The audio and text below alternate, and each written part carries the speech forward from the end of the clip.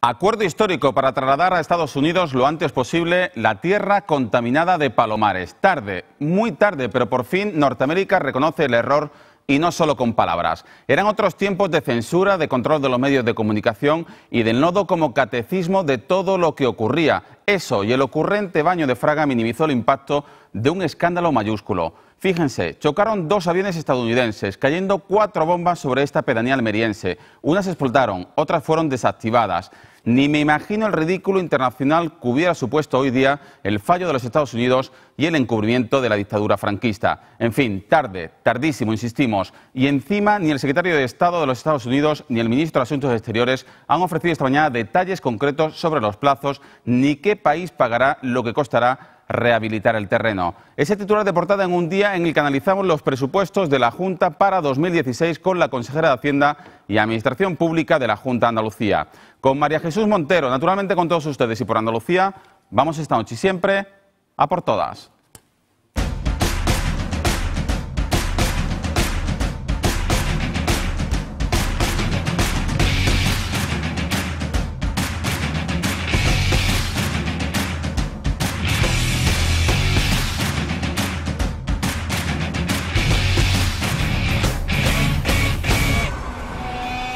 Buenas noches, andaluces. Han pasado 50 años del famoso baño de Palomares. El jefe de la región aérea del estrecho se dan un buen baño, pues así lo permite la benignidad del clima a pesar del invierno.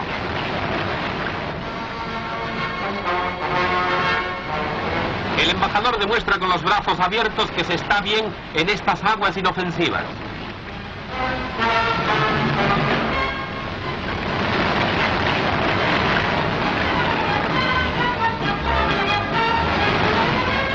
Y hecha esta elocuente demostración, el ministro y el embajador nos dicen adiós al salir del agua.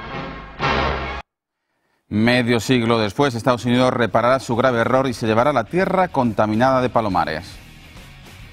Garcia Magallo and I also discussed Palomares, and that work will continue. Es que la voluntad es hacerlo ya, cuanto antes, y que Palomares vuelva a, a la normalidad que tenía antes de 1966. La Junta saluda este acuerdo, pero considera que llega tarde, según el vicepresidente Manuel Jiménez Barrios. Un acuerdo que ha generado numerosas reacciones en la zona afectada. Siempre lo prometen y nada, no se lo llevan. He visto ya tantas veces que han venido, eh, han hablado, han ido a Madrid. Son promesa tras promesa y año tras año, son 50 años ya. Han dicho muchas veces que sí, que se va a limpiar y tal, pero eh, así llevamos ya casi 50 años. Y sí es verdad que ya eh, nos hemos despeinado muchas veces y eso no llega. No, ni me lo creo ni me lo dejo de creer. Por lo demás, hoy seguimos pendientes del temporal de lluvia que atraviesa Andalucía desde el sábado y que está descargando mucha agua. Ha obligado a la flota artesanal del Golfo de Cádiz y la costa de Huelva a permanecer amarrada a, puerta, a puerto. Lluvias que agradecen los pantanos y el campo andaluz, especialmente el olivar, un cultivo que tiene desde hoy más garantizado el regadío en la Sierra de Jaén gracias a la presa de Siles, que acaba de inaugurar esta mañana la ministra de Agricultura tras ocho años de obras y 40 millones de inversión. Una obra con todo que no satisface a los pequeños agricultores que creen insuficiente los 6 hectómetros cúbicos autorizados por la ministra para el regadío cuando necesitan al menos 15. Y tras varios años de ingobernabilidad, todos los partidos andaluces alcanzan un acuerdo para reactivar la FAN, la Federación Andaluza de Municipios y Provincias. Al día de hoy, y esperemos que mañana se rubrique en una firma, hay un gran acuerdo entre el Partido Socialista, el Partido Popular, Izquierda Unida, Partido Andalucista, Ciudadano, es decir, y está eh, abierto, por supuesto, a que sea eh, tanto la presentación de las candidaturas a la FAN como el desarrollo de la propia Asamblea un gran acuerdo con todas las formaciones políticas. La presidencia será para el PSOE que baraja el nombre del presidente de la Diputación de Sevilla, Fernando Rodríguez Villalobos. El PSOE andaluz intenta enfriar su enorme malestar por el fichaje de Pedro Sánchez de Irene Lozano. Es de UPyD, como independiente en las listas socialistas. Desde San Vicente, la consigna es ahora clara. Lo que ahora toca es volcar todos los esfuerzos en las elecciones del 20 de diciembre. Mostramos nuestra disconformidad con, algunas cuestiones, concretamente con la incorporación de esta persona y de, Irene Lozano y por las cosas que habían ocurrido. Y a partir de ahí lo que le puedo decir es que hicimos lo que teníamos que hacer, eh, dijimos lo que teníamos que decir, Se aprobaron las candidaturas y ahora miramos al frente porque sabemos de la importancia de estas elecciones. Por su parte, el PP andaluz ha cuestionado hoy punto por punto las conquistas del presupuesto de la Junta para 2016 y ha remetido contra el PSOE por no negociar con los populares y contra Ciudadanos por apoyar unas partidas que perpetúan, según los populares, el fracaso laboral de la Junta.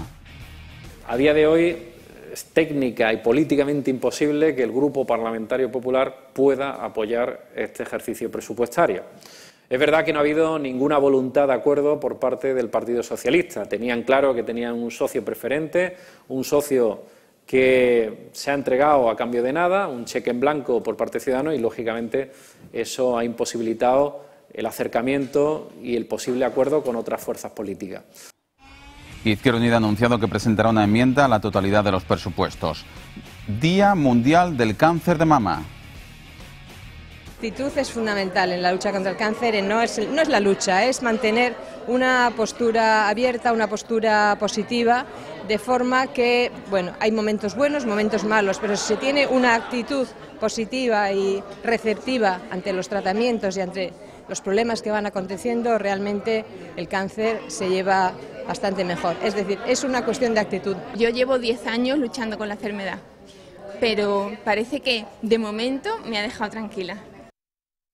Las cifras aumentan año tras año, 4.000 casos en 2014. Sin embargo, el consejero de Salud, Aquilino Alonso, ha lanzado un mensaje de tranquilidad a la población andaluza porque los avances y la detención precoz ha incrementado sobremanera la curación. Un 90% de las mujeres lo superan. A todo esto, científicos de la Universidad de Granada han patentado, lo van a presentar mañana, un nuevo fármaco eficaz contra el cáncer que permite reducir en más de un 50% la actividad tumoral tras 41 días de tratamiento. Son los asuntos fundamentales que abordaremos en la tertulia esta noche en compañía de Antonio Avendaño, de Fernando Vicente, de Isabel Morillo y de Elena Manzano. Los cuatro se incorporarán en tan solo unos minutos a la entrevista que comenzamos en estos momentos con la consejera de Hacienda y Administración Pública de la Junta de Andalucía, María Jesús Montero, buenas noches. Hola, muy buenas noches. Y muchísimas gracias por acompañarnos una vez más en el Plato de A por Todas, en esta tercera temporada de A por Todas, y nos va a permitir, le hemos invitado para hablar de los presupuestos, nos va a permitir que comencemos precisamente con la última noticia veía como usted no podía ocultar una sonrisa cuando veía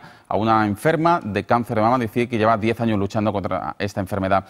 Usted ha sido durante muchos años consejera de salud. ¿Qué nos tiene que decir sobre esas cifras? Van en aumento los casos detectados, pero también muchísimo éxito en la curación de estas mujeres. Claro que sí, yo creo que el día de hoy es un día muy importante para celebrar que el cáncer se cura, que el cáncer de mama, eh, una vez que se detecta precozmente, tiene una eh, curación casi total. Y esto significa que hay muchas mujeres que se han beneficiado a lo largo de estos años de los programas de detección precoz. Es verdad que afloran casos nuevos, pero es verdad que se cogen antes y por tanto se puede instaurar un tratamiento quirúrgico, un tratamiento médico y la investigación avanza, crece. Mi esperanza para todas esas mujeres, la solidaridad de toda la sociedad y yo le diría que efectivamente que con una buena actitud y sobre todo con un buen sistema sanitario público como tenemos en Andalucía, se combate una enfermedad que en este momento se cura y que por tanto todas estamos con todas esas mujeres que hoy están sufriendo la enfermedad o que la superaron hace unos años. En los presupuestos de 2016 hay un compromiso podemos decir patente por la investigación, por la asistencia médica en estos términos.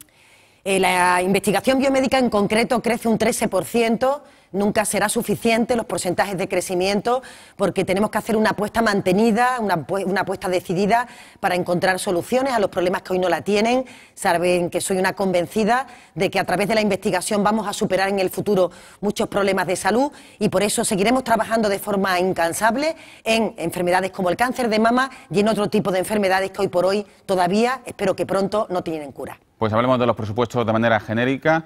¿Cómo lo definiría para 2016? Unos presupuestos que ya llevaba usted al Parlamento. Son unos presupuestos de oportunidades para los ciudadanos, para las empresas, para el conjunto de Andalucía, unos presupuestos buenos que crecen para que crezcan los andaluces y, por tanto, creo que presentamos unas cuentas públicas que tienen la mirada puesta en las personas, en que la incipiente recuperación económica llegue a la familia, que la noten, que la perciban. Este ha sido el objetivo del Gobierno de Andalucía y realmente pienso y estoy satisfecha porque creo que estas cuentas públicas las van a poder percibir cada uno de los ciudadanos de Andalucía como propia ¿En qué lo van a notar? ¿En la creación de empleo? Hablan ustedes de, mm, de 27.000 puestos de trabajo, Unicaja lo ha cifrado en 6 puntos que se va a bajar en, en el próximo ejercicio.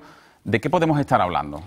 Nos van a notar eh, mayores oportunidades para encontrar un trabajo. Hay que tener en cuenta que lo que plantea el presupuesto es una apuesta por el fomento del empleo, partidas que suben más de un 25%, por una apuesta por las ayudas al sector de los autónomos, a nuestro modelo productivo, para que no solamente se reoriente, sino el que actualmente exista pueda dar mayores oportunidades al empleo se estabilice y se genere mayores condiciones laborales.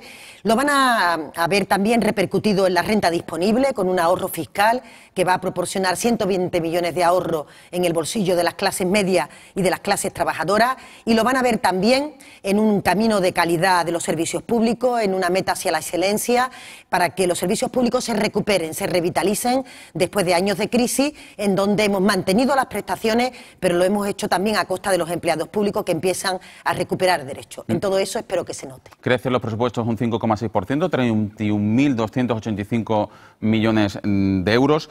¿Hay peligro de que sufran alguna variación si el Gobierno no les permite o les obliga a aplicar a rajatabla la regla de gasto?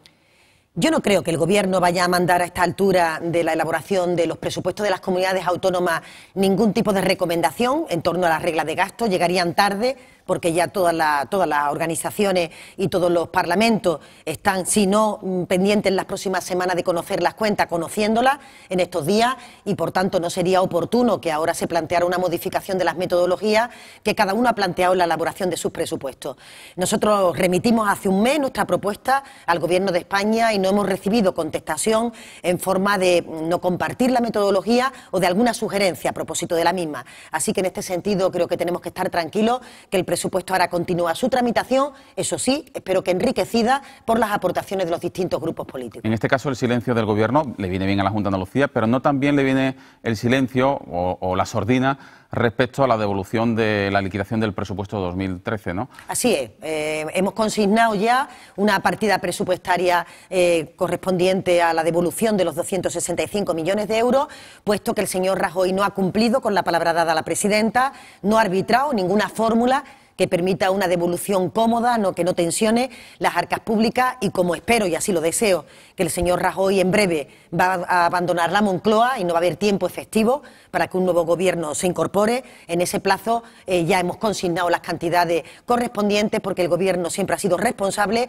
ha sido riguroso y le ha dado al gobierno el tiempo necesario para haber podido cumplir con lo que trasladó el presidente en su propia persona a la presidenta Díaz. ¿De qué se siente más orgullosa del presupuesto? ¿De la apuesta por el empleo, por las pymes, por los autónomos, de la bajada de impuestos, de la ayuda para la dependencia? Me siento, digamos que satisfecha porque todo cuadra. Al final hemos conseguido eh, que el presupuesto incremente la calidad de los servicios públicos, educación y eh, eh, salud, igualmente que la política social crece en más de un 4%, y esto ha sido muy difícil porque son consejerías que tienen una parte muy importante de la tarta presupuestaria. Me encuentro eh, muy satisfecha de que hayamos podido destinar más de 2.000 millones a la política de creación de empleo, al combate contra el desempleo, que es la principal preocupación de los ciudadanos.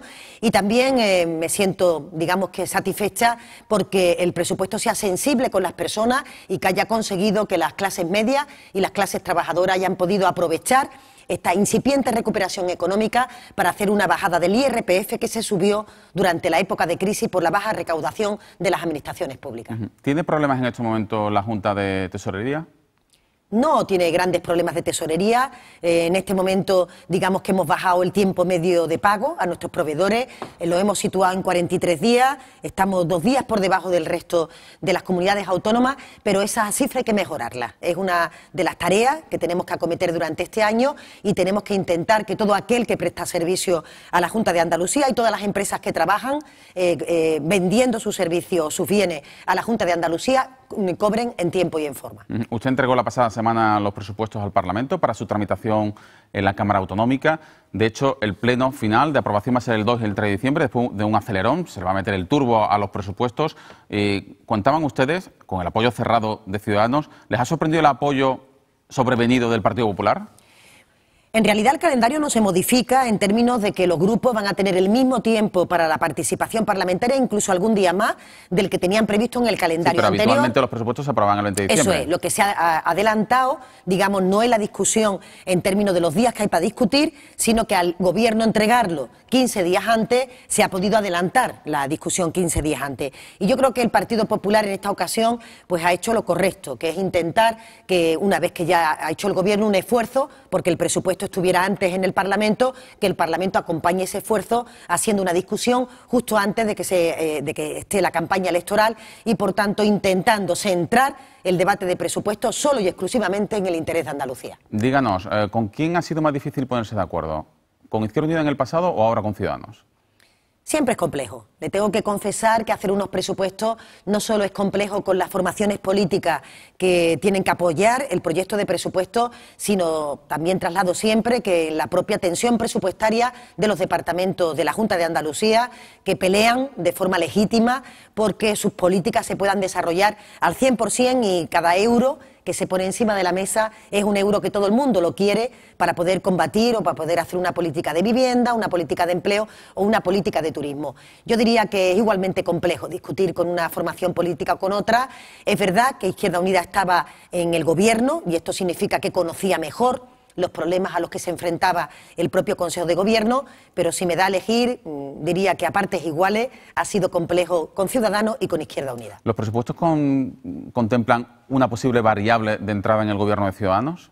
No, los presupuestos son un presupuesto que se ha eh, acordado en el acuerdo Pero será un documento móvil. que se ha trabajado mm, eh, para que se pueda iniciar la tramitación, es decir, para el rechazo de- del voto para las enmiendas a la totalidad del presupuesto. Esto significa que eh, lo que se queda asegurado es que el presupuesto entra en el Parlamento, que los grupos políticos van a poder discutirlo y que incluso posteriormente tanto Ciudadanos como PSOE podrán presentar las enmiendas que consideren oportunas, eh, acordadas con el resto de grupos políticos. Ha sido un acuerdo solo y exclusivamente para, para esta cuestión, dentro del acuerdo de investidura que Ciudadanos eh, eh, apoyó durante la investidura de la presidenta Susana Díaz y, por tanto, es una concreción del primer año de lo que significa ese acuerdo de investidura. Pero por su experiencia de cogobierno con, con Izquierda Unida, ¿la entrada supuesta, futurible o no, de Ciudadanos en el gobierno andaluz desviaría los presupuestos de la Junta?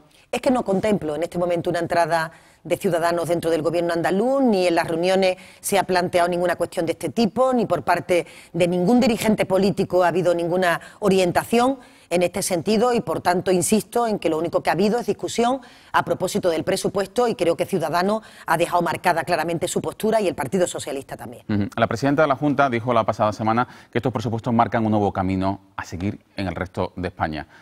Más allá de la lectura política interna del Partido Socialista, que le voy a preguntar ahora, ¿dónde hay que poner el acento? ¿Se bajan los impuestos, se crea empleo o se apuesta por el empleo, por las clases medias, por blindar el estado del bienestar? Yo pondría el acento en que hemos sido capaces de consensuar un presupuesto. Diría que la presidenta lo que se refería fundamentalmente era que hemos entendido el mandato de los ciudadanos, que por tanto hay varias fuerzas políticas que quieren contribuir para que salga adelante algo tan importante para la estabilidad como es que una comunidad autónoma, la más poblada de España, tenga un presupuesto que avale la gestión de un año, que permita que las empresas se instalen en Andalucía y que permita que los ciudadanos tengan unas reglas de juego claras para saber cómo se van a comportar los impuestos o cómo se van a comportar los servicios públicos. Si a eso añadimos que no solo ha habido un acuerdo, sino que es un buen acuerdo que beneficia a los ciudadanos, pues creo que la hoja de ruta que se plantea es que eh, las líneas fundamentales del presupuesto de Andalucía pueden ser seguidos por otras administraciones o por otras formaciones políticas que en este momento tienen que pactar sus propios presupuestos. Y en clave interna, en clave orgánica, ¿usted cree que Susana Díaz lanza un mensaje a Pedro Sánchez, a su secretario general, de que el aliado natural del PSOE debe ser Ciudadanos y no Podemos? Yo creo que Susana Díaz lo que ha trasladado es lo que ha querido decir, que es que efectivamente eh, eh, es necesario que las formaciones políticas en una pluralidad que existe en el Parlamento de Andalucía y que se espera que exista en el Parlamento español, pues tenga la suficiente cintura para tener un presupuesto que permita el consenso de otras fuerzas políticas y que no hayamos, que no estemos enredados en batallas políticas que para nada aportan al conjunto de la ciudadanía. Querer leer de ahí, como siempre se quiere hacer de la presidenta, algún mensaje extraordinario dirigido al secretario general del PSOE, creo que es gratuito, creo que ella ha dicho lo que quería decir y se ha mostrado orgullosa de que hayamos sido capaces de poner un presupuesto encima de la mesa, un buen presupuesto para Andalucía. Por cierto, un paréntesis. ya que estamos hablando de cuestiones orgánicas, ¿qué le ha parecido el episodio este fin de semana, el clima de tensión que se ha vivido en el Comité Federal y el malestar hecho público, soterrado en un principio y luego publicitado por parte del peso andaluz sobre el fichaje de Irene Lozano? ¿Cree usted que la ex de UPD debería haber pedido perdón al peso andaluz? Juan Cornejo ha dejado muy clara la posición esta mañana y una vez que ya las listas se han votado y se han votado con la gran mayoría de los militantes y de los representantes del Comité Federal, pues yo creo que está todo dicho, eh, vamos a trabajar. Eso, es la respuesta manual, pero señora Montero, ¿usted, ¿usted como socialista andaluza se ha sentido ofendida? Le contesto y vamos a trabajar en esa dirección porque hay cuestiones que pueden gustar más o menos, pero lo importante en este momento es que el Partido Socialista sea capaz de gobernar los próximos años en este país, pero dicho esto hay que entender que cuando alguien hace comentarios hirientes sobre Andalucía y sobre los dirigentes de Andalucía, pues uno se sienta molesto. Y creo que todos hemos expresado ese malestar que produjeron las declaraciones de la señora Lozano, pero yo no le daría ni más valor ni más importancia porque el Partido Socialista es mucho más que eso y en este momento es una alternativa y una esperanza real para miles de ciudadanos. Mm. Ahora que estamos al final de la legislatura, me va a permitir que le plantee algunas cuestiones prácticamente de balance, ya que se van a disolver enseguida las cámaras. Eh, ¿Se ha sentido usted, no como María Jesús Montero, sino como consejera de Hacienda de un gobierno, el andaluz, ¿se ha sentido maltratada por el Ministerio de Hacienda, por el gobierno central? Sí, con rotundidad. Yo creo que no yo, mm, eh, la persona de María Jesús Montero, pero como usted bien dice, Andalucía ha dejado de recibir más de 4.156 millones de euros en la vigencia del modelo de financiación. Hemos tenido más de 2.000 millones menos en las inversiones que correspondían estatutariamente a esta comunidad autónoma. No ha habido un solo plan de empleo para combatir la principal lacra que tienen los ciudadanos en Andalucía en estos años de crisis. No hemos encontrado en ningún caso una mano tendida, todo lo contrario, chinas en el camino por parte del Gobierno de España y hemos sido absolutamente leales en términos de austeridad, en términos de cumplimiento, en términos de responsabilidad. Por eso creo que el Gobierno del señor Rajoy ha maltratado a Andalucía y espero y deseo que los andaluces tomen nota de ello cara a las próximas elecciones generales. ¿El PP ha intentado recentralizar competencia mediante la ficha financiera en las comunidades autónomas? Sí, mediante el FLA, el, Fondo de Liquidez Autonómica, que intentaba auxiliar a las comunidades autónomas en un momento de dificultad. Pero hasta el punto de decir que el Estatuto de Autonomía se ha convertido en un papel mojado hasta el punto de decir que tenemos en el Tribunal Constitucional mm, bastantes leyes en términos de autonomía financiera que espero que sigan su curso y que espero, espero que puedan ser eh, tenidas en cuenta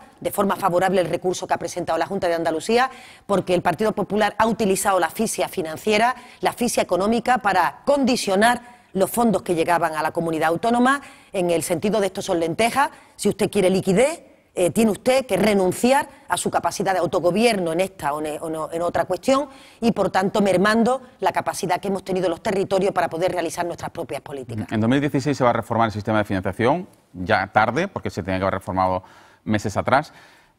Cupo vasco sí, cupo vasco no, modularlo, quitarlo, porque Andalucía siempre ha defendido que no quiere ser menos que nadie, pero tampoco más que nadie, ¿no?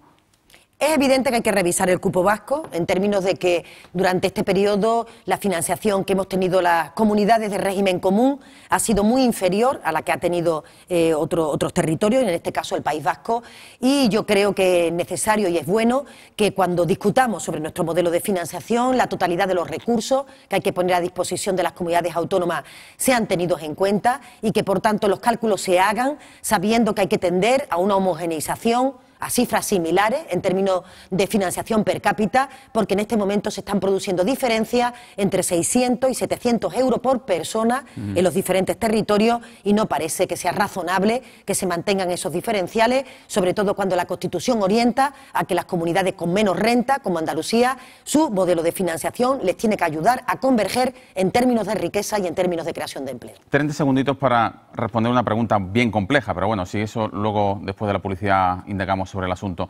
¿Debe temer Andalucía prebendas a Cataluña para enfriar las ansias soberanistas catalanas? ¿Prebendas del próximo gobierno, sea del PP, sea del PSOE? Yo creo que sí. Creo que debe de, ¿También con el PSOE? Creo que debe tener prebendas, no. Creo que debe tener eh, la digamos que la alerta puesta ante los debates territoriales, evidentemente si gobierna el señor Rajoy, porque ya conocemos cómo no ha sido capaz de afrontar con valentía y yo diría que de frente un debate que se le ha ido de las manos a él y al señor Mas.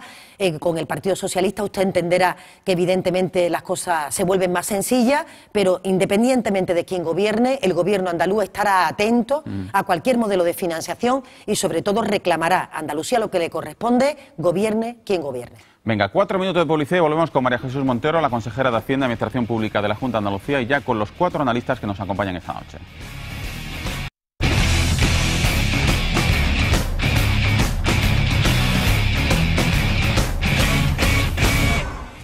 Esta noche vamos a por todas con María Jesús Montero, la consejera de Hacienda y Administración Pública de la Junta de Andalucía. Se incorporan a esta entrevista Antonio Bendaño, buenas noches. Hola, buenas noches. Igualmente saludamos. Elena Manzano, buenas noches. Hola, ¿qué tal? Fernando Vicente. Buenas noches. Isabel Morillo, Buenas los noches. cuatro. A partir de ahora la entrevista con María Jesús Montero. ¿Quién empieza? Pues consejera, ¿ha reconocido usted que había complicaciones con Ciudadanos a la hora de negociar este presupuesto? Y eh, me consta que se le ha preguntado en varias ocasiones y todavía no sabemos en qué aspectos concretos ha encontrado el PSOE y el Gobierno andaluz esas complicaciones. Si nos puede decir en qué ha cedido eh, usted, en qué ha tenido que ceder Ciudadanos. Se lo digo porque su socio ha hecho hoy un balance muy triunfalista. Eh, ha dicho que por primera vez en 30 años han conseguido del Gobierno lo que antes no se había conseguido, que eran unas cuentas revolucionarias. No sé si nos puede usted concretar en qué aspectos. Yo diría que había gran alto grado de coincidencia en las cuestiones que tienen que ver con, digamos que con la- los valores que inspiran el presupuesto. Todos coincidíamos en que era necesario a lo largo de la legislatura hacer una bajada fiscal, que había que recuperar, revitalizar los servicios públicos, sanidad, educación, dependencia, intentar reorientar el modelo productivo, dar ayuda a los autónomos.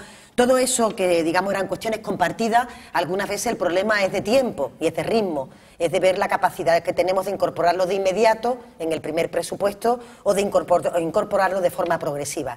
Ah, El esfuerzo complicado ha sido hacer compatible todo eso, es decir, que los crecimientos que se produjeran en los servicios públicos fueran compatibles con la bajada fiscal y, por otra parte, que pudiéramos eh, seguir orientando nuestro modelo productivo, pero sin que eso significara una pérdida de aquellos aspectos tradicionales de la actividad, agroalimentario, turismo, eh, en relación con la, bueno, digamos que con las áreas en las que Andalucía ha sido más competitiva, que no se repercutieran por la necesidad de incentivar, por ejemplo, el tejido autónomo. Eh, ha sido más el equilibrio entre las cifras que cuestiones que alguien no compartiera, porque es evidente que si el Partido Socialista no hubiera compartido algunas de las cuestiones que se hubieran planteado, no hubiera llegado a un acuerdo con Ciudadanos. ¿El impuesto de sucesiones y donaciones ha llegado hasta alguna vez sobre la mesa, consejera? El impuesto de sucesiones está en el acuerdo eh, consignado eh, con la creación de un grupo de trabajo que se va a reunir en breve para analizar la totalidad del impuesto. Eh, a nosotros nos parecía, y yo creo que lo hemos compartido ambas formaciones políticas, que era prioritaria la bajada del IRPF.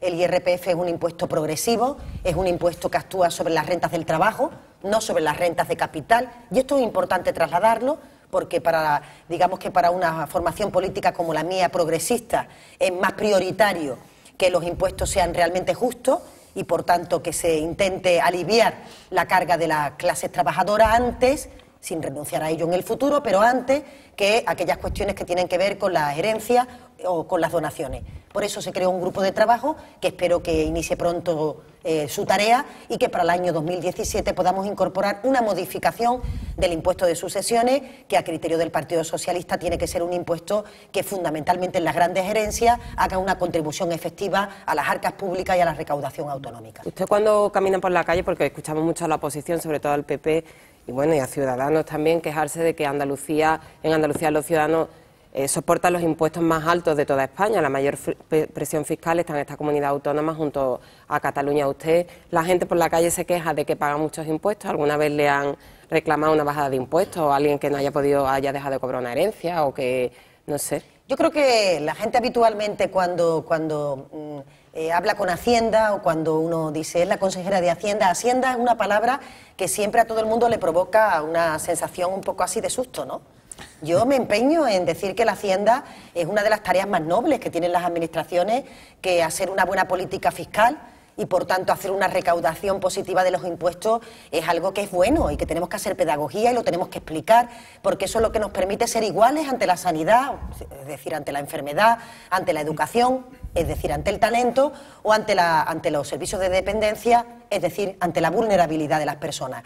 Pero es verdad que la Hacienda en general ¿no? siempre da miedo, como si los inspectores de Hacienda fueran algo que siempre vienen a maltratarte o a condenarte, como si la lucha contra el fraude fiscal le pueda eh, tocar a cualquiera de los ciudadanos, trabajadores que hay en la calle y un- una de nuestras tareas tiene que ser ser más pedagógico y la gente normalmente responde más ante esa cuestión que decirte pues se pagan muchos, pocos o bajos impuestos, lo que te piden es que el que tenga que lo pague y que se sea justo en la contribución y que no solo las nóminas que están, digamos, bien etiquetadas sean las que al final reciban las inspecciones, la lucha contra el fraude y los grandes capitales se vayan de rositas con la evasión de impuestos.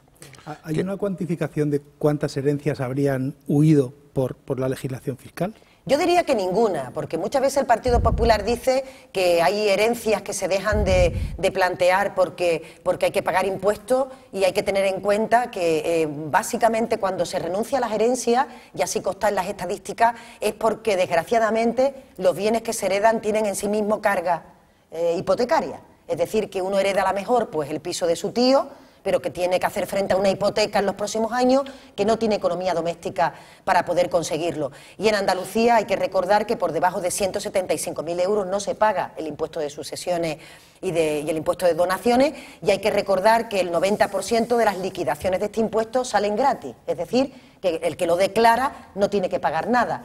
Si usted me pregunta, yo le diría hay que corregir algunos defectos que tiene el impuesto, pero sí comparto que cuando se producen grandes herencias se contribuya porque son rentas que no se generan por el esfuerzo de tu trabajo, sino que se generan por tu situación de partida, por tu situación de cuna y por tanto las grandes herencias, algunas de ellas muy famosas, evidentemente tendrán que tributar para que todos los ciudadanos podamos ser iguales ante la sanidad, ante la educación o ante la dependencia. La discusión sobre las rentas de capital y las rentas del trabajo, llevamos toda la crisis oyendo hablar de ella y al final, en general, no se ha visto que realmente los gobiernos lo afronten con, de verdad con ganas. Es decir, los- las rentas de capital siguen teniendo una situación muchísimo más eh, beneficiosa que las rentas del trabajo. Siguen teniendo muchas menos obligaciones fiscales las rentas de capital que las rentas del trabajo. Y no sé, en este presupuesto usted dice que eso se va a mirar, pero ¿de qué manera? ¿Cuáles son las medidas concretas que van a grabar esas rentas del capital y además y sobre eso además las grandes fortunas, etcétera? Y luego una segunda pregunta que se supone que ahora va a haber una discusión y además ha dicho usted antes que estaba en la entrevista con Fernando que estaba muy contenta porque se iba a poder discutir el Parlamento, en el Parlamento mm, los presupuestos y van a poder entrar enmiendas de otros partidos políticos. Y ahí hay una por parte de Izquierda Unida que se estuvo trabajando en ella durante toda la legislatura pasada, que al final no se llegó, pero que ya se hicieron las comisiones de trabajo y de investigación, etcétera, bueno, perdón, investigación de trabajo, etcétera, que es la banca pública.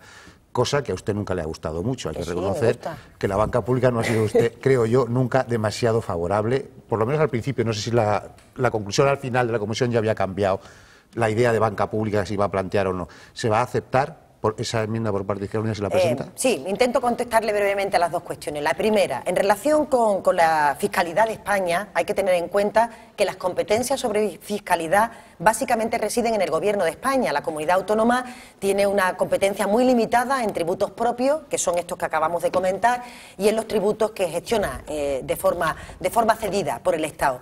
Pero las grandes eh, imposiciones sobre eh, las sociedades, sobre las empresas, sobre los grandes capitales corresponden al Gobierno de España y puedo compartir que la reforma fiscal última que ha hecho el Partido Popular no ha puesto, desde mi punto de vista, el dedo en la llaga en evitar una evasión fiscal. Sigue habiendo una ingeniería por parte de las grandes empresas que hacen que no contribuyan en la medida en que ganan y, sin embargo, sean las clases medias y trabajadoras las que habitualmente tienen una, una mayor, digamos que inspección por parte de los organismos fiscalizadores. Nosotros en nuestro marco de competencia sí hemos hecho, digamos que una fiscalidad más progresiva, hemos incorporado más tramos autonómicos en el impuesto del IRPF de los que hace el Gobierno de España y por otra parte eh, hemos eh, mantenido los tipos en las rentas altas. Esto ha sido también eh, criticado por parte de alguna formación política como el Partido Popular. Nosotros tenemos los tipos más altos de la fiscalidad de España en los tipos por, por encima de los 60.000 euros y no hemos modificado esos tipos porque creemos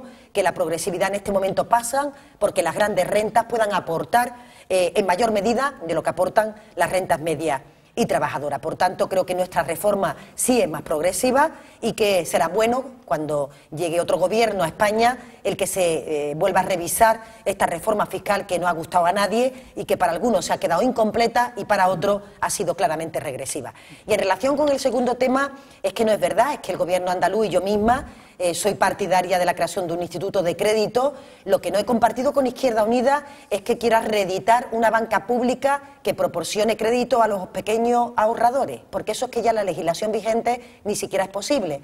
No se trata de reeditar la caja postal, si usted me permite el símil, sino de lo que se trataba era de hacer un instrumento que las empresas nos habían pedido, más especializado en la concesión de crédito y ayuda, para que se pueda reorientar el modelo productivo y se pueda generar eh, digamos que un interés eh, asequible hacia aquellas empresas que tienen dificultad de encontrar el crédito en la banca comercial. Eso es lo que no he compartido nunca con Izquierda Unida y quizás pues la explicación poco clara que dio desde el primer momento a cuál era exactamente el instituto que estábamos creando. En ningún momento fue un instituto que iba a darle crédito a los pequeños ahorradores, ni que se trataba de reeditar, como le digo, instrumentos que ya han sido superados por la legislación vigente. Vamos a presentar, por tanto, nuestro proyecto de instituto de crédito, que es bastante similar y copiado de la ponencia que elaboró el Parlamento de Andalucía, de acuerdo con los tres grupos parlamentarios, con algún voto en contra. Yo le quiero preguntar por la pobreza y el riesgo de exclusión social. Hemos conocido informes que no sé si coincide conmigo, que son alarmantes. Andalucía es la primera comunidad con, la tasa más elevada de paro de toda Europa y es la tercera con los índices de pobreza y de exclusión social. Eh, y, se habla poco de esto en los presupuestos cuando se están diseñando y cuando se están tramitando en el Parlamento. A mí me gustaría saber si hay alguna medida específica y sobre todo revolucionaria, distinta a otros presupuestos y que ataje de una vez esta, esta lacra tan tan grande, porque eh, según el último informe, el 51% de los niños, un poco más de la mitad de los niños andaluces, están en riesgo de exclusión social. Yo diría que hemos hablado mucho de, exclusión social, de pobreza durante estos años de crisis y Andalucía no solo ha hablado, sino que marcó un camino que fue muy criticado en su momento por parte de alguna formación política en relación con la alimentación de los niños, las tres comidas diarias, recuerda usted, la capacidad de generar un plan de empleo, aunque fuera en precario, quiero decir que no iba a dar una solución definitiva a esa familia para intentar tener un mayor volumen de, renta, eh, la capacidad de que el salario social pudiera llegar a un mayor volumen de familia. Lo que ocurre es que las cifras son tan dramáticas y las realidades que hay detrás de las cifras son tan dramáticas que todos los esfuerzos que se hacen son pocos para intentar paliar y ayudar a este tipo de familias. De hecho, este presupuesto del año que viene quizás no es donde se haya puesto el acento, porque va de suyo, si me permite la expresión, eh, la protección social sigue siendo una prioridad del Gobierno de Andalucía. El presupuesto de bienestar social crece un 18,5% el presupuesto, el programa de bienestar social. El programa de inclusión social crece en torno a un 10% frente a, los datos de, la etapa anterior. Pero claro, cuando nosotros decimos que estamos reorientando nuestro modelo productivo, que estamos destinando más de 2.000 millones de euros para la creación de empleo, para el combate contra el desempleo, es que justamente de lo que se trata no es solo de paliar a estas familias que también sino sobre todo de darle un puesto de trabajo, de que la, la sociedad le genere un medio de ganarse la vida, que es lo que nos piden, que es lo que es de justicia, y por tanto contribuir con las cuentas públicas a que no solo paliemos su situación, sino que se genere una oportunidad real. Por eso hemos puesto el acento en esa parte, pero seguimos teniendo grandes partidas destinadas a la protección social, más de 220 millones de euros que se destinan a eso y que eh, apenas eh, digamos, tienen más, que, más, más función que la de intentar proteger, que ya es bastante, a aquellas personas que se encuentran en situación más vulnerable. Pero a mí son cifras que me siguen alarmando y cifras que me despiertan la conciencia, como creo que al conjunto de los ciudadanos. Habla usted antes de, fraude fiscal. Cuando hablamos de fraude fiscal, lo preguntaba Fernando, siempre hablamos de grandes empresas. No sé si como consejera de Hacienda no ha tenido a veces la impresión, yo desde luego la tengo, de que los ricos son más listos que Hacienda siempre. Hombre, sería, sería difícil ¿no? que, que yo pudiera decir eso. Lo que sí es verdad es que la legislación española y la legislación europea eh, tiene una complejidad que permite, si me permite esta expresión, una ingeniería técnica que siempre la aprovechan estos listos. Sí, eso es lo mismo que digo, pero eso es, Eso es. Y por tanto, quizás pues la gran preocupación de los técnicos de Hacienda y de los inspectores de Hacienda es ser capaces de desmontar esos grandes tinglados que tienen las sociedades, las empresas, sociedades pantalla, bueno, que las conocemos cada vez que aflora un caso de evasión fiscal o un caso de corrupción, en donde cuesta trabajo seguir la, la pista al dinero y habría que ir a un sistema tributario, y esto es competencia del Gobierno de España y de Europa, que, que simplifique la forma en donde se hacen todo el tipo del impuesto de sociedades, que es el que más se beneficia de este tipo de artimaña, de estos listos que no eh, cumplen con sus obligaciones fiscales. Y por otra parte hay que compartir información entre los diferentes países, entre las diferentes agencias, porque seguirle la pista al dinero, sobre todo a aquellos que tienen posibilidad de evadirlo, es realmente complicado y hay que eh, en ese sentido, darle todas las facilidades a los grandes inspectores de Hacienda que hay en este país, que muchas veces encuentran trabas de este tipo para poder seguir la pista al último euro. Usted de... Más allá de las grandes fortunas, consejera, eh, ¿usted tiene la sensación de que en Andalucía hay un problema con lo que llamamos la economía sumergida? Ayer le preguntaban en, la- en el debate que tuvieron Albert Rivera y Pablo Iglesias si habían pagado en negro y los dos asumían que, que habían pagado en negro. No sé si usted también ha pagado alguna vez en negro, pero creo que, que hay un, bueno, está en el imaginario colectivo que la economía sumergida es un problema en Andalucía. ¿Usted lo cree? ¿Cree que se puede atajar? Yo creo que es evidente que, que tenemos que ser capaces de aflorar parte de la economía sumergida que hay en Andalucía, que hay en España, que es una parte que según las estimaciones que hacen algunos es una parte importante y que más que la cifra que, que hay encima de la mesa lo ponen de manifiesto cuando uno habla con los ciudadanos y te dicen estas cuestiones que usted plantea o no me dan la factura, ¿no? Cuando acudo a la prestación de un servicio no necesariamente identificado con un servicio doméstico, hay otras actividades que pueden ser más prestigiosas en términos social y que igualmente no se proporciona la factura y ahí los ciudadanos tenemos que ser proactivos en exigir que eso se, se provoque y por otra parte pues que efectivamente la inspección de trabajo que es fundamentalmente la más la que tiene que aflorar ese tipo de economía sumergida porque son empleos en precario y por tanto mm, son personas que no están dadas de alta en seguridad social y que no tienen una jornada legal y no tienen un salario legal los que afloren este tipo de realidad. Pero yo creo que es una prioridad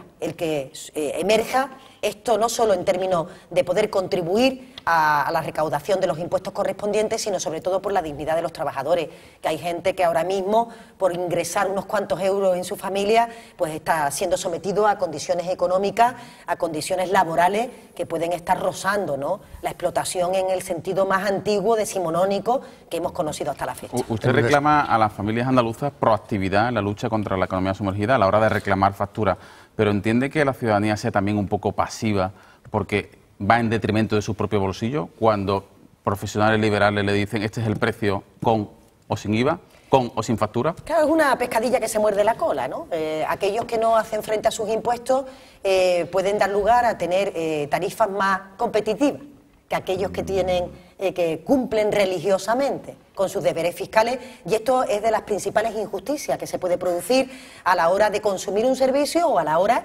de que una empresa pueda ganar de forma adecuada, eh, bueno, pues aquellas plusvalías que pueda tener prevista. Por eso creo que es una exigencia moral de la sociedad el que todos colaboremos en denunciar las situaciones que conocemos que se puedan producir en este entorno y aquí, como siempre, por supuesto, las víctimas más importantes son aquellos más vulnerables, que son los trabajadores y, por otra parte, la familia que para poder llegar, para poder comprar algo o pa- para poder hacer un arreglo, pues necesitan que sea un precio competitivo y asequible. Es decir, que puesto a tener que culpabilizar a alguien, evidentemente las empresas que no son capaces de aportar aquello que necesitan y que guardan ese dinero para sus propios beneficios eh, personales o beneficios propios.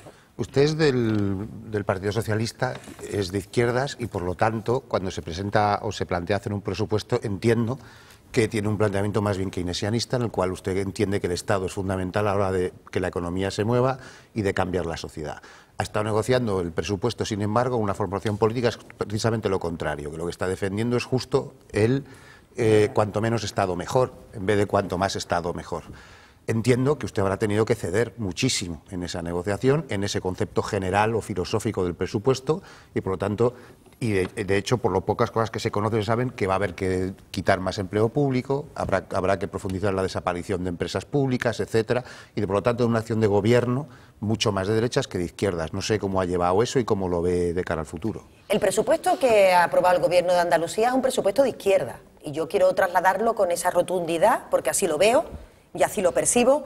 Y si lo dice usted por la parte correspondiente a la reforma fiscal, eh, porque entiendo ¿no? que el incremento en las plantillas de educación, en las plantillas de sanidad, en dependencia, en el apoyo a los autónomos, eh, se interpreta fácilmente como una política de blindaje de la parte social de- del presupuesto. Si lo dice en relación con la reforma fiscal, yo creo que subir impuestos es de derecha o de izquierda dependiendo del momento en que se haga y sobre todo sobre quiénes se haga. Es Es decir, una frase bajar muy compleja. no, bajar los impuestos a la clase eh, trabajadora, después de la crisis económica que hemos atravesado y después de haber vivido esta clase trabajadora, una subida de impuestos en los últimos años, ¿no es de izquierda? Yo creo que profundamente de izquierda que las eh, familias medias de este país y las familias trabajadoras tengan mayor renta disponible en su bolsillo. Un desahogo. No, estoy a- no estamos hablando de arreglarle la vida a una familia, estamos hablando de que haya mayor capacidad de consumo, mayor ahorro, mayor capacidad de llegar a fin de mes sin las apreturas que tenemos. Yo creo que eso es profundamente de izquierda. Igual que creo que era de izquierda en, la- en el momento de la crisis económica subir los impuestos cuando la recaudación no permitía blindar la sanidad, la educación o la dependencia. Ahora que llega un momento de mayor recaudación, es el momento adecuado para bajarle la carga fiscal justamente a las clases medias y las clases trabajadoras. Y creo que eso es profundamente de izquierda. Por tanto, la herramienta fiscal es eso, es un instrumento que nos permite recaudar lo suficiente para que todos seamos iguales ante determinados servicios, pero por otra parte, lo más importante es mirar a quién se le baja. ¿Se le baja a la clase trabajadora? Yo diría que es de izquierda. ¿Se le baja las grandes rentas? Pues diría que entonces es un presupuesto de derecha. Y le puedo asegurar que en esa parte hemos estado de acuerdo, tanto Ciudadanos como el Grupo Socialista. Y nosotros no somos sospechosos de ser un partido, de ser una formación política que no haya blindado las políticas de bienestar en los momentos de crisis. Probablemente es que Ciudadanos es consciente del momento atravesado y, por tanto, ha sido generoso también con sus planteamientos y ha puesto encima de la mesa, en primer término, la eh, capacidad de recuperación de las familias de Andalucía. ¿Hay alguna posibilidad de acuerdo político para los presupuestos? No creo con el Partido Popular, pero con Izquierda Unida o con, o con Podemos, aparte de con Ciudadanos. Yo diría rotundamente sí. Me, me llama la atención que algunas formaciones políticas hayan trasladado el acuerdo con Ciudadanos para la tramitación del presupuesto como un acuerdo exclusivo. Eh, la iniciativa presupuestaria la tiene el Gobierno. Es evidente que para sentarte con una formación política habrá que tener un esqueleto para presentarse y por tanto yo vuelvo a tender la mano, el Partido Socialista lo ha vuelto a hacer en la mañana de hoy, para que antes de que se provoque el primer debate general podamos discutir sobre la arquitectura de los presupuestos que tenemos actualmente aprobados por el Consejo de Gobierno y pactar incluso las enmiendas. Es decir, el Gobierno y el Partido Socialista estamos disponibles para que si una formación política entiende que con determinadas enmiendas puede votar a favor el- la tramitación del presupuesto, eh, discutirla si va acorde con los planteamientos que tenemos. Pero es que han anunciado en el día de hoy, creo que la presentación de una enmienda a la totalidad, tanto Izquierda Unida, no sé si el Partido Popular también en este mismo sentido. Claro, es difícil pactar un presupuesto si alguien presenta una enmienda a la totalidad.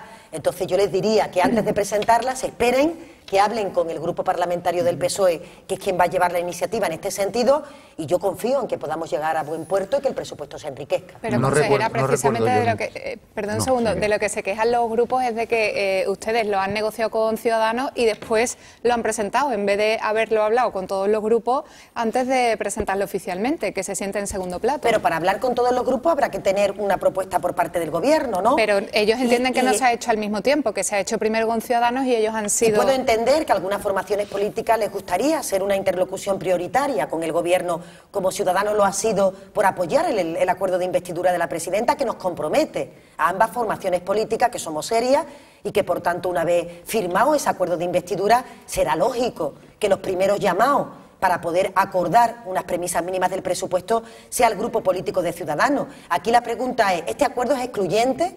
Para otras formaciones políticas. Esto significa que los demás no pueden aportar, que no podemos discutir a propósito del presupuesto, teniendo claro que hay algunas líneas vertebradoras del presupuesto que le tienen que dar coherencia. La respuesta por mi parte es evidentemente es compatible que haya una interlocución prioritaria con aquellos que aprobaron la investidura de la presidenta, con otras formaciones políticas que ahora es su momento de participar, pero es que algunas de ellas ya han renunciado a participar. Venga, última pregunta.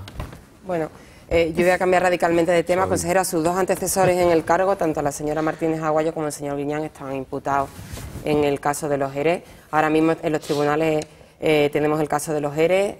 recién abierto el caso de los fondos Jeremy, el caso del fraude de presunto fraude con los fondos de los cursos de formación. Como consejera de Hacienda, ¿qué opina de todo esto? Como consejera de Hacienda, yo creo que al igual que los ciudadanos, estas situaciones son situaciones que se viven con preocupación y sobre todo se pide celeridad a los tribunales de justicia porque tarda mucho tiempo entre que una causa está siendo investigada hasta que finalmente se determinan las responsabilidades a las que hubiera lugar. Y como ha dicho muchas veces la presidenta, y la suscribo sus palabras 100%, si hay alguien ha hecho algo mal que lo pague que lo pague con todas las consecuencias de la ley, pero es verdad que en este procedimiento hay muchas personas que, son, que están siendo citadas en los diferentes informes periodísticos, en las diferentes investigaciones judiciales, que están esperando desde hace años ya que la justicia se pronuncie y por tanto un calvario que está ¿Cuánto dinero han recuperado de los derechos? No, no, no, no hay tiempo ya. Perdón, es un calvario que Tenemos se 10 vive segunditos, 10 en segunditos. primera persona y por tanto yo lo que pediría es que la justicia actúe con celeridad y por mi parte seguir reforzando los controles sobre el gasto público, que este presupuesto también los contempla de una manera más intensa que en ejercicios anteriores. María Jesús Montero, consejera de Hacienda, se nos ha acabado el tiempo. Muchísimas gracias, buenas noches y mucha suerte. Muchas gracias a vosotros. Venga, volvemos en cuatro minutos ya en compañía para analizar la actualidad de Antonio Mendaño, de Elena Manzano, de Fernando Vicente y de Isabel Morillo.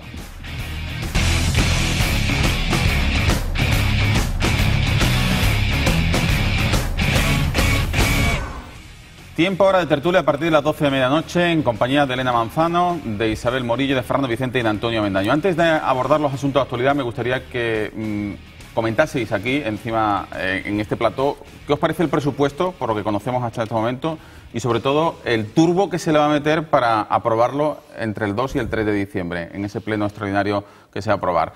Eh, nos ha dicho la consejera que el plazo va a ser el mismo en el que van a tener los partidos políticos porque han entrado en la Cámara 15 días antes, pero sí es cierto que hay un acelerón, ¿verdad, Antonio? Sí, sí que lo hay. A mí no me parece, no me parecía mal eh, al principio que haya ese acelerón, habiendo tiempo para que los grupos parlamentarios puedan hacer su trabajo, ¿no? Es verdad que ese, acortamiento de los plazos va a hacer que los grupos pues sobreactúen un poco y digan, en fin, que el presupuesto va a tener menos, menos debate y demás. A mí me parece que eh, para lo principal del presupuesto, que es plantear enmiendas concretas para conseguir cosas, yo creo que para eso hay tiempo, pero tengo muchas dudas de que realmente vaya a haber eh, acuerdos aparte de, de con Ciudadanos. ¿no? Bueno, si es que eso, lo mismo que las enmiendas a la totalidad que hablábamos con la consejera, yo no recuerdo ningún presupuesto que se haya presentado jamás en ningún parlamento, autonómico o nacional, que no haya tenido enmiendas a la totalidad por parte de los grupos de la oposición. ¿Me sabéis decir alguno? Esto es De- ley de hecho, vida. Fernando, si hiciéramos con los presupuestos la operación inversa, porque sabéis que cuando se presentan, pues todos los grupos de la oposición dicen que son horribles. Tendríamos que hacer la oposición inversa, darle Mm. a los grupos eh, unos presupuestos, pero sin decirles quién los había hecho. Los Tendrían hecho. dificultades para poder hacer una evaluación. Entre otras cosas, porque es verdad que tú puedes poner el acento, el matiz en algunas cosas, pero cuando tienes poco dinero, en fin, eh, el margen que tienes realmente es, eh, es corto, ¿no? Como es en, eh, en estos presupuestos. Yo a todo lo que habéis comentado añado además que también lo he comentado en alguna otra ocasión el clima de tensión tan grande que hay en estos momentos en el Parlamento que era lo que había llevado al Partido Popular a reconocer que no iba en ningún caso a apoyar estas cuentas y que hoy por fin ya lo ha reconocido el presidente popular de, de Andalucía eh, delante de los micrófonos que es técnicamente Sí. imposible que Pero le den el apoyo, no pero, iban Elena, a sin- consentir Pero esa sin foto. tensión tampoco habría habido. eh, Por supuesto, por Claro. eso digo que, que si normalmente no era habitual y nunca se Ah, había aceptado, como dice ahora, Fernando, ¿no? menos ahora, Mm. pienso yo. Hombre, yo creo que también los presupuestos se van a utilizar como un reclamo electoral, ¿no? Claro. Es que nadie se le escapa, igual que Rajoy, ha aprobado sus presupuestos como un arma electoral. Y Ah, no, pero hay una diferencia crucial, ¿eh? Hay una diferencia eh, crucial. Es que yo creo que Rajoy, un gobierno que está acabando, no tiene derecho a presentar unos presupuestos que puede ejecutar otro, pero vamos, de ninguna manera. eh, eh, recordar o, o hagamos memoria si en 2011 a Zapatero se le ocurre presentar en los pre- unos presupuestos, que no, pero en ningún caso, ¿no? Lo que pasa es que, bueno, nos hemos acostumbrado un poco, pero, pero no, yo creo que hay, eh, eso no se debe hacer en buena lógica política. Otra cosa es que cuando tú tienes cerca unas elecciones, pues que en estos andaluces o en otros, pues sí haya elementos, digamos, electoralistas, ¿no? Pero, lo que ha hecho el, el, el, el- el Perdóname, gobierno- pero los presupuestos son electoralistas desde la primera hasta la última letra o número. Desde el momento en el que la presidenta de la Junta sale a decir que aquí se está marcando el camino al resto de España Pero es que y es poniéndonos como obligación- ejemplo, sí, es obligación y nos de los vamos gobiernos hacer presupuestos presupuesto electoralistas. progresista, No, vamos que a se baja impuestos. Pero que porque eso es malo, si es una Sí, obligación no, que pero sea sí, electoralista. pero ¿quién ha es un partido haciendo la política que ha dicho que va a hacer en ¿quién su... ha dicho que ¿O no? sea malo? No, no he pero- dicho que sea no, malo. Bueno, pero se, le, está dando un, tinte peyorativo a la No, palabra electoralista en este caso, ¿o no? electoralista, pues como una venta de su acción, de su es un poco su propaganda, ¿no? Sí, digamos. No, entre otras no, cosas no porque los presupuestos no, nunca no se cumplen, ¿no? Lo que digo es que yo eso que lo puedo Esa dar un poco en fin, como tema. la Es valentía que en los soldados que se da por, por, por sabido. Eh, lo que digo es que hay una diferencia crucial, pero en estos presupuestos y en cualquiera que haga otras comunidades autónomas, ¿no? Con lo que ha hecho el gobierno de la nación, que a mí me parece una cosa ilegítima, ¿no? Hombre, No- eso la verdad que coincido Claro, contigo en que hay- es otra hay discusión. parte, ¿no? Eh, De cara a que, que aquí hay, hay, eh, tiene elementos electoralistas, sin duda, a mí me ha pasado siempre con los elementos electoralistas es que, como siempre hay gente que sale beneficiada, pues si claro. el año que viene hay una, o a final de año hay una convocatoria de 500 plazas en la administración general. Benditas pues elecciones, ¿no? Siempre decimos lo pues- mismo, Pues claro. un poco benditas elecciones, ¿no? Salvo que sean eh, disparates, ¿no? Yo creo que la clave era eh, precisamente esa, que no, eh, no se cumplen nunca, que la ejecución presupuestaria nunca llega al 100% y según a quien le pregunte, según el gobierno va a ser del 80 y pico, el 90% y si le preguntas al PP que se pasa todo el verano haciendo las mediciones por partida, a veces la sitúan en un 20% en el mes de agosto. Decía antes Isabel Morillo que la presidenta de la Junta, mm, con un interés claramente electoralista, sin el ánimo peyorativo, pues eh, decían que estos presupuestos marcaban un camino, un camino para el resto de España. ¿Creéis que también ha marcado un camino interno orgánico dentro del PSOE? ¿Creéis que Susana Díaz le está lanzando un mensaje a su secretario general de que el aliado natural del PSOE debe ser Ciudadanos y no Podemos? Yo creo que, que eso eh, seguramente a Susana Díaz o al Partido Socialista le hubiera gustado inicialmente haber tenido dos socios posibles en el Parlamento de Andalucía en vez de uno solo. ¿no? Al final tiene eh, solo Ciudadanos, yo creo que Podemos eh, ya no. Hubiera preferido sin duda el Partido Socialista, como cualquiera, dos mejor que uno porque te da, te da más margen. Que eso sea un modelo exportable. Bueno, eh, el Partido Socialista aquí puede pretenderlo o no pretenderlo, es igual lo que pretenda. Al final, lo que marcará de verdad qué se puede hacer en, eh, después del 20D es los resultados electorales. Eso es lo Totalmente que de determinará realmente el juego de alianzas entre Podemos, el Partido Popular, el Partido Socialista. Eso será lo determinante mucho más que el hecho de que Andalucía haya pactado en una dirección o en otra. Otra cosa es que cada uno pues quiera vender su moto y bueno, pues eh, es legítimo venderla, ¿no? Pero esa proyección yo creo que no la tiene. ¿eh? No, yo estoy de acuerdo. Es imposible eh, hacer una proyección sobre un futurible que no se, como ese que no se conoce. Va a depender todo de cuál sea el resultado de las elecciones. Sí, pero como La- tantas veces hemos escuchado a Susana Díaz diciendo, cuidado con los experimentos, cuidado con pactar con Podemos, y lo dijo desde la campaña electoral, ni con PP ni con sí, Podemos. Sí, tiene, ra- tiene razón. Cuidado con los experimentos, pero depende de, las, de la aritmética electoral que se dice, porque si la aritmética electoral después de- obliga a. Pues mire usted, cuidado con los experimentos, pero no tengo otra posibilidad. Claro. Porque o pacto con Podemos o no tengo. a- eh, pongo como, como, por ejemplo, no tengo acceso a, al a gobernar, que es lo que debo hacer. Bueno, pues entonces tendrá que aceptarse el pacto con Podemos. Si es que Podemos entiende que quiere, porque ya veremos lo que, en función de cuál haya sido su resultado, entiende que debe hacer. Podemos, claro, es que eso, Sí, yo es creo que que- son todo. por- Es casi como, ¿qué hubiera hecho yo si hubiera pasado? Pues esto es lo No, mismo, claro, no sabemos claro. todavía Sí, qué es lo que va a pasar. Además, pactar con Podemos tiene el problema de que aún no sabes bien con quién pactas, pero no ya eh, el Partido Socialista u otro partido, sino que el propio Podemos aún no sabe exactamente Claro. qué quiere ser de mayor, ¿no? Si quiere ser, digamos, la alternativa a la izquierda del Partido Socialista, si quiere sobrepasar al Partido Socialista, pero no es lo mismo. De hecho, la pelea interna, pelea entre comillas que tienen, es un poco esa, ¿no? Más- la más que- definición claro, yo creo que lo de que ese, sí ha de ese proyecto demostrado Pode- político, lo ¿no? que no ha demostrado Podemos todavía es si es capaz de pactar para llevar para, para- gobernar en algún sitio, mientras que Ciudadanos sí ha hecho ese ejercicio. Yo pacto con unos y con otros y soy capaz de gobernar con unos y con otros en función de lo, se supone no de los intereses míos solo del partido, sino también de, de la población en general y por eso o del bien común, como se dice ahora, pacto, mientras que Podemos todavía no ha pactado con nadie. No sabemos si es capaz de pactar o no. Ese Eso- mensaje es más bien al revés. ¿no? Eso por no añadir un elemento más, y es que yo creo que la legislatura que se, ave- que se avecina, hay unas cuantas cosas que hacer que son extremadamente importantes y tendrán que participar, participar todos, ¿no? Pero mm, eh, habrá que eh, revisar el modelo territorial, habrá que hablar de financiación autonómica, habrá que hablar ah, de, de- de ley educativa y o en esas grandes cosas están todos los partidos, lo- digo los, los fundamentales, los cuatro o cinco eh, partidos y los territorios, o mm, será un fracaso eh, la legislatura, ¿no? Eh, va a ser importante quién pueda gobernar, el Partido Pero, Socialista con Si Podemos o con si Ciudadanos. hablamos en esos términos, no fue el, no el Partido Popular, pero Alianza Popular no fue capaz de pactar en su día. No, pero Por ejemplo, ¿no? Sí, probablemente, pero yo, creo- yo creo que ahora sí puede haber posibilidad de pacto, pero eh, no hay nada de verdad de las cosas que necesita este país que se pueda hacer solo con los dos que vayan De todas a formas, yo sí que discrepo que, por ejemplo, en Andalucía, y hablamos de la negociación del presupuesto, el trato preferente lo ha tenido Ciudadanos. Tú dices que con Podemos, sí. Lo con Podemos no la se puede negociar, ¿no? Es que a Podemos nos lo han sentado en una mesa y le han dicho, ¿qué quieres? Que voy a intentar complacerte, ni Bueno, con Podemos, ni con el. PP, ni Lo- con Izquierda Unida, la es una consejera. lo política. La no lo ha hecho con estas palabras, ha dicho haber pactado la investidura. Claro, Claro. ellos tienen una estrategia política Pero es que y, el, eso- y el lema es a mí. Podemos se negó a la investidura.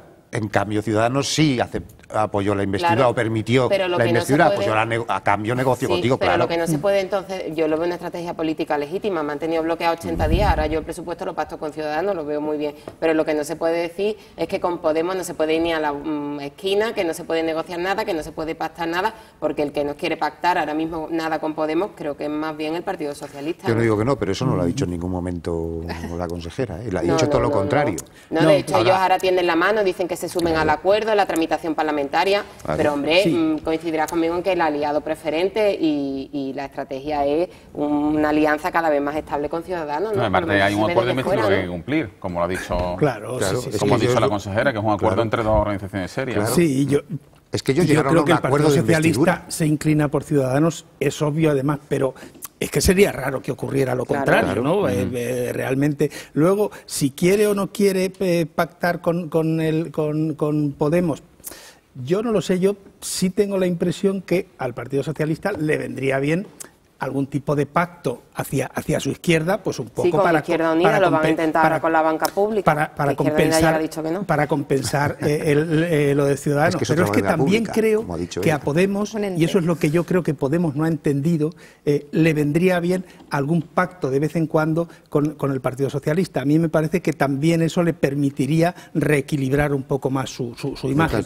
Pero aún así yo creo que eso es prácticamente eh, Yo creo que es- imposible. Bueno. No ya que, que- que no se entiendan programáticamente, es que ni siquiera hay cauces de comunicación, no ya oficiales, sino eh, ni siquiera extraoficiales. Esos que te permiten un poco tantear lo que piensa el otro sin que salgan los periódicos. Claro, que esos son muy Eso- importantes. Claro, ni siquiera eso existe de manera que es, eh, es Eso es posible creo que sea que negativo, pero a mí me parece de verdad injusto pedirle ahora al Partido Socialista que tenía que haber negociado a priori los presupuestos con otros partidos políticos, que no fueran ciudadanos, cuando esos partidos políticos se fueron en el momento de la investidura y la posibilidad de, de formar un gobierno que planteó unos presupuestos, fueron unas posiciones maximalistas que hacían imposible ningún tipo de pacto, Entonces, ¿de acuerdo? La, entonces toda la legislatura que nos queda es así, todo lo que haya que negociar, todo lo que haya que hablar, se va a hablar dependerá- primero con Ciudadanos y ya después, si acaso, Bueno, no, dependerá. preguntamos no tiene, al resto no, del grupo. No tiene, no tiene por qué, pero los presupuestos desde luego, porque eso es un acuerdo que, en el que llegaron ellos. Yo te permito a ti gobernar, pero me vas a dejar, a cambio de que yo te permita gobernar,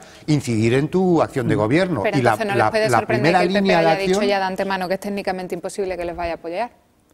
No, no, no, a mí no me parece, porque ellos efectivamente sí tienen la posibilidad de buscar acuerdos Digo que no concretos se en enmiendas concretas. ellos. Sí, pero no es. Pero ellos yo- tienen yo- la posibilidad de incluir, evidentemente no van a conseguir Si no las que la PSOE y Ciudadanos quiten estos presupuestos y acepten los que les presente el Partido Popular, porque eso es innegable. O sea, eso, es no, eso no, es, no estamos hablando en serio. Mm. En serio es que ellos ahora pueden intentar que algunas de sus propuestas sí vayan dentro de ese presupuesto. Lo pueden intentar. Pueden y eso intentar obliga, otra cosa claro. que se las acepten, Ah, bueno, que no se las van a aceptar. Bueno, eso es lo que no sabemos. Bueno, pasamos página.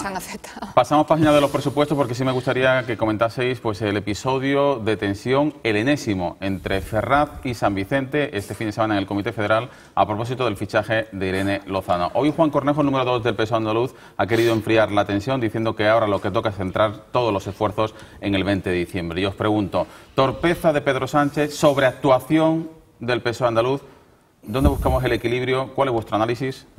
Torpeza por el momento en el que Pedro Sánchez ha decidido comunicar esto, porque eh, estratégicamente hablando eh, era la semana negra del PP, todos los titulares y todas las tertulias se estaban centrando en los movimientos tan convulsos dentro del Partido Popular, con varios ministros enfrentados, una dimisión en el PP vasco y otros episodios internos, y viene Pedro Sánchez a hacer un movimiento que se ha entendido poco o prácticamente nada de una eh, mm, miembro de un partido 24 horas antes de anunciar su traspaso. Eso, desde mi punto de vista, es transfugismo puro es la definición del transfugal que se pasa de un partido a otro para conseguir un rédito y bueno, yo la verdad que los movimientos internos y, el pulso interno entre Ferraz y San Vicente, creo que Isabel está mucho más al tanto de eso, pero, pero creo que sí, leyéndola ella precisamente, eh, se da uno cuenta de que ha sentado no, bastante hombre, eso es salsa rosa. Los periodistas nos lo inventamos todo. Hay una relación fluida y en ese lío político no está nadie. Esa es la versión oficial. Yo creo que episodios como este eh, hacen, exhiben que, no es que haya una tensión, es que hay una fractura, que además yo creo que el fichaje de Irene Lozano la ha profundizado y que efectivamente el peso andaluz no entiende, ni, pero yo no creo que ni el andaluz ni, muchas otras federaciones no entienden este movimiento de Pedro Sánchez, pero es que encima aquí, más que como una ocurrencia, se ha entendido como una provocación, ¿no? Y todo eso es porque hay un caldo de cultivo pues, de lo que hay de tensión. Es que la pregunta es qué aporta Irene Lozano, que, han encontrado, que han encontrado en ella que no haya dentro ya de las filas del PSOE de Madrid o de incluso de, bueno, Sí, eh, eh, es que en este tipo de operaciones al final ¿eh? se puede estar de acuerdo con el fondo, con la forma o con las dos cosas. Por ejemplo, en el caso de no digo, por ejemplo, en el caso de, la operación de, en, el, caso de la operación de Gabilondo, el Partido Socialista no, por eso voy, el Partido Socialista en Andalucía y otros no estaban de acuerdo con la forma pero sí con el fondo porque era evidente que Gabilondo era mejor, en fin, era un peso pesado y, estuvo cerca, cerca de ganar. En cambio, en lo de Irene Lozano, justamente no lo entendemos porque eh, todo el lío que, que, se monta es por una apuesta que hace Pedro Sánchez creyendo que lo que tiene es un póker de ases y en fin y tiene una pareja de doses eso es lo que tiene no no pero pero no por no, no por quitarle mérito no por quitarle mérito a, Irene Lozano sino porque eh, el nivel de conocimiento que tiene es el que tiene su incidencia es, eh, es la que tiene. Si yo tuviera que resumir la operación diría que esto ha sido una cosa de Irene contra Lozano y de Pedro contra Sánchez porque los dos en mi opinión han salido perjudicados en esta operación salvo que luego las encuestas nos digan que, que esta mujer arrastra muchos votos, ¿no? Pero también, pero fíjate, también es cierto que gente que, la conoce, yo no la conozco personalmente, eh, me dicen que ella no es una mujer que tenga ese perfil de transfugismo o de ventajismo. No lo sé, eso es lo que cuenta gente que la conoce, pero bueno, yo creo que en términos electorales, que es como hay que leer esto, puesto que estamos hablando de una lista electoral, o sea, lo que estamos hablando es de colocar a una persona en una determinada lista electoral, en una posición determinada, se supone que es un golpe de efecto para llamar al elector. Entonces yo entiendo que tú, cuando se fichó por parte de Felipe González a Garzón, o luego el propio Sánchez a Gabilondo, sí consiguió un golpe de efecto muy llamativo de cara al votante. Y le dijo, pero yo estoy de acuerdo contigo, es decir, Irene Lozano es una persona conocida por los políticos y los periodistas y poco más, pero no es una persona que sea conocida, realmente tenga un gran conocimiento por la gente. La gente no conoce a esta mujer. Eh, lo que llama la ¿cuál atención... Es, ¿Cuál es lo que realmente le aporta suficiente como para que le merezca la pena el lío que ha montado. Pero la explicación es peor, porque ahora va y sale... no, era, consciente de lo que estaba haciendo. No, pero claro, sale y dice que es la necesidad de regenerar el partido, que la va a poner al frente de la regeneración, por lo cual a todo lo que está dentro le está diciendo que no tienen capacidad de, de regeneración o de que eh, la gente de dentro se siente insultada. Pero lo que también llama... el azote contra la corrupción interna. Lo que también llama mucho la atención es cómo antes un partido era tan malo y ahora es tan bueno como para que forme parte de él, que es lo que yo siempre me he preguntado de Rosadíe, tantos años militando en el PSOE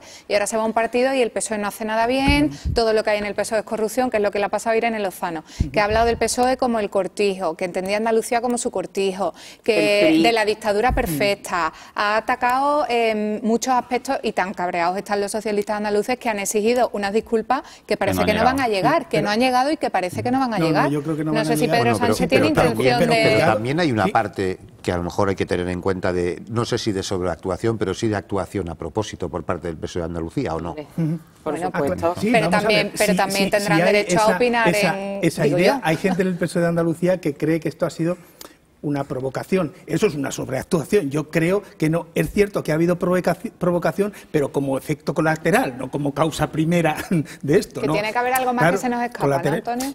Yo ¿O no, no? sé si hay algo más que, se nos escapa que porque, eh, a veces yo creo que Pedro Sánchez, eh, cuando dice eh, que el partido no es solo de los militantes, sin duda, ni del secretario general, tampoco es el partido. Y claro, actúa un poco como si el partido fuera del secretario general.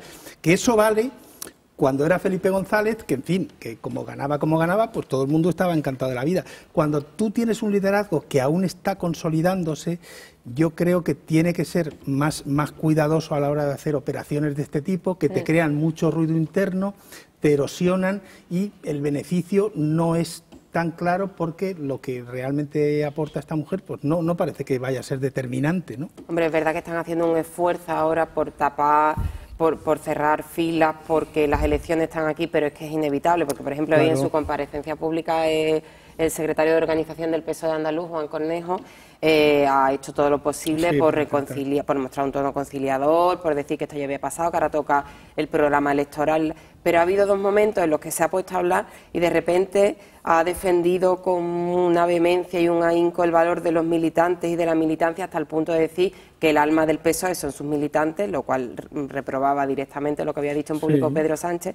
Y en otro momento, cuando le hemos preguntado mm, sobre la agenda del señor Sánchez en Andalucía, él ha dicho, es que Andalucía es tan importante, aportamos tanto, somos tanto, el PSOE andaluz es tan importante para el PSOE, que cómo no va a estar en Andalucía. Después nos dicen que es que los periodistas los malinterpretamos todos, los No. retorcemos todos, que somos muy malos. Otras Pues, veces a lo mejor, Perdonen, no. no, pero no, es cuestión de que seamos malos los periodistas. Es que De todas maneras, quien tiene que estar supura, ¿no? encantado y el que ha aplaudido la jugada y le ha parecido magnífica ha sido el Partido Popular. Hombre, es lo que decía Elena, le ha quitado el, foco. En su semana Estamos, negra. estamos en una situación de dos ministros insultándose públicamente y nada, nadie habla de eso. Y fíjate cuándo se ha visto a dos ministros en público insultarse. Bueno, yo, yo recomiendo, si, si pueden todavía, pues pinchar el artículo de esta mañana de Iñaki Gabilondo que empezaba. Los grandes partidos, PP y PSOE, le están pidiendo a la ciudadanía, confíen en nuestros líderes, que nosotros no confiamos en ellos.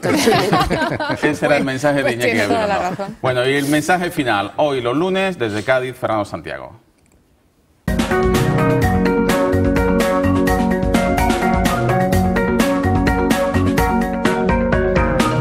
La aprobación por el Partido Socialista de sus listas electorales, lo que ha quedado de este fin de semana es la incorporación de Irene Lozano eh, a la candidatura de Madrid.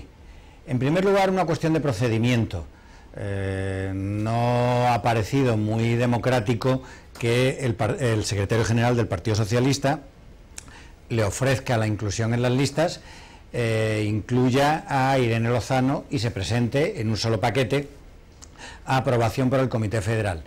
No parece que es un ejercicio de participación y de transparencia eh, de cara a los militantes eh, del partido, incluso a los ciudadanos. Hay partidos socialdemócratas en Europa donde los ciudadanos participan en la elección de las candidaturas antes de que éstas concurran a las elecciones. Me parece que el procedimiento no es el mejor ni dice mucho de los mecanismos del PSOE a la hora de elegir sus eh, listas electorales.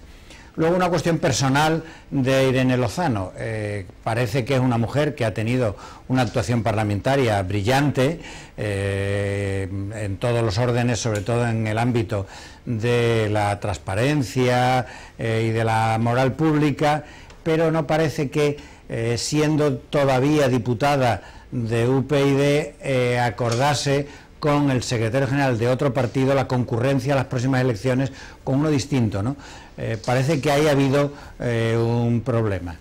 Sí es verdad que la imagen del Partido Socialista ensanchando su base hacia el centro puede resultar quizás positiva para el PSOE, pero comprendo que chirríe en los oídos de muchos eh, militantes y dirigentes del PSOE que alguien que ha censurado eh, la actuación del Partido Socialista en el gobierno de la Junta de Andalucía y en otros ámbitos del gobierno concurra ahora en las candidaturas del Partido Socialista. Así lo ha dicho Felipe González e incluso eh, Juan Cornejo secretario de organización del Partido Socialista, se ausentó a la hora de votar.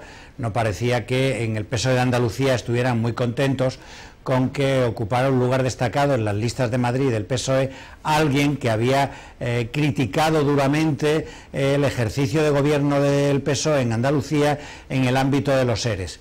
Por eso creo que en el futuro el PSOE, si quiere representar, como ellos dicen, a la mayoría de los españoles, tendrán que arbitrar mecanismos de participación para la elaboración de sus listas y adoptar criterios, a mi juicio, eh, de mayor ética pública y no permitir que alguien que es diputado de un partido pueda concurrir inmediatamente después en otro partido.